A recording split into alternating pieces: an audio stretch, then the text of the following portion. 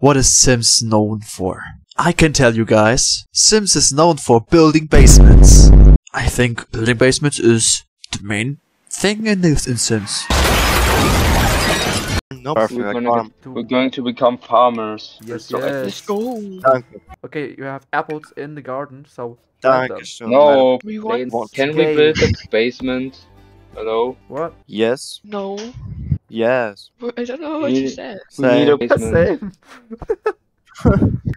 Okay, then we do a basement. How do we do that? Basement. That would be actually pretty useful. Pretty interesting. Wait, yes, you're right. Hey, Philip, you have the best idea. Why you are angry again? Because we don't have a basement. Maybe she has then better dreams. Maybe it's really because of the Yeah, she's dreaming of That's possible. You want so hard a basement? can't how expensive would it be to build a basement? Work? Oh no. Oh, oh, oh, okay. Um,